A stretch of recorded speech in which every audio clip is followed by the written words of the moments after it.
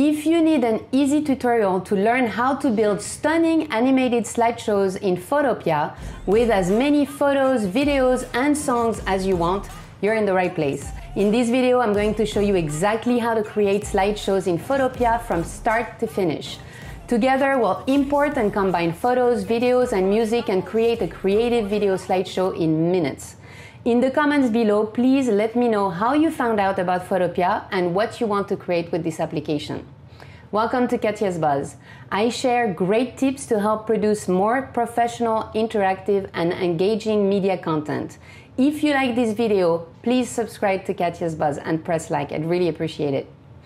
Lately, I have built many presentations for large events using Photopia instead of PowerPoint, and the audience loved it. So, step one Download Photopia Director or Photopia Editor at photopia.nl. If you don't have it yet, use a free trial to test its capabilities. I fell in love with the app and have been using it a lot since I discovered it.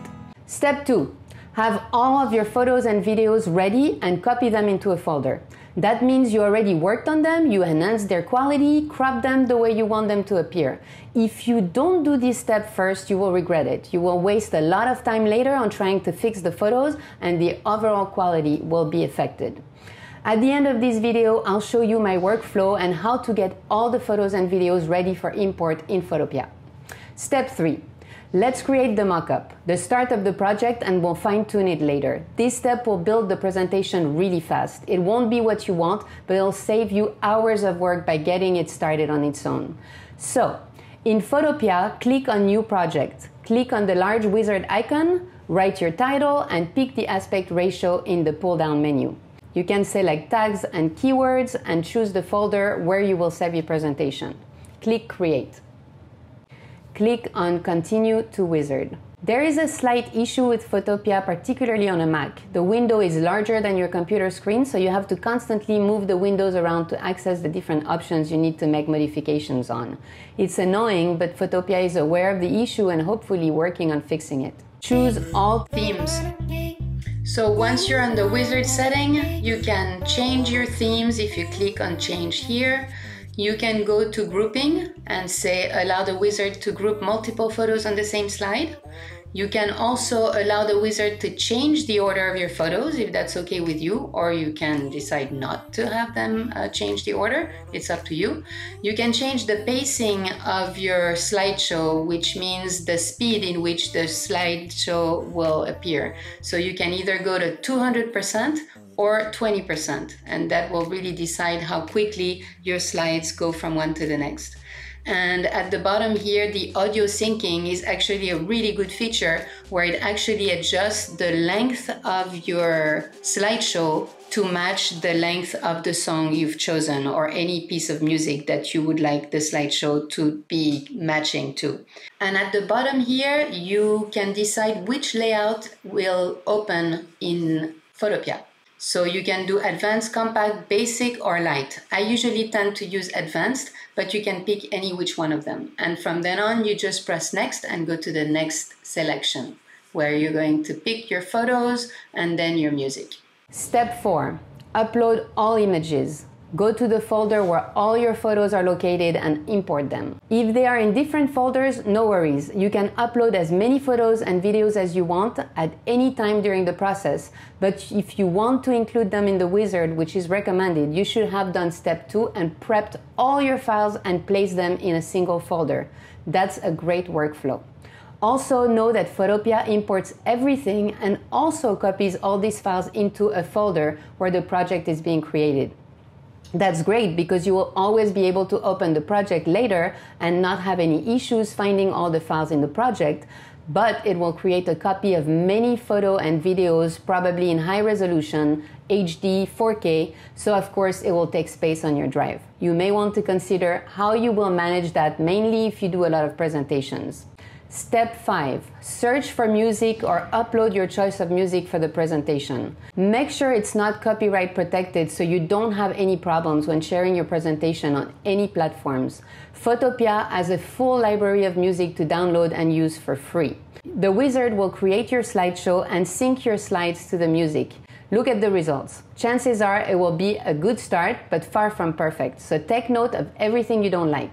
If you want, you can restart the wizard and see if the result is better. An important setting for your videos. By default, when you import a video into your presentation, it reduces the music and allows the audio of the video to take over. If you don't want that to happen, you have to modify the settings. I'll create a separate video just for that because it's kind of tricky and took me a while to figure out. Step 6. Once you approve the wizard, modify all the slides you don't really like by hand. I usually change the slides with multiple images so they match somehow, same content, same location, same artist. It makes more sense that way.